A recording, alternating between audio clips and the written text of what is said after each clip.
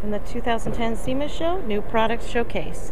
Cooper Discoverer S/T MAXX from Cooper Tire and Rubber Company. The Cooper Discoverer S/T MAXX features Cooper's proven and reliable 3-ply Armor-Tek3 carcass construction, combined with a new cut and chip-resistant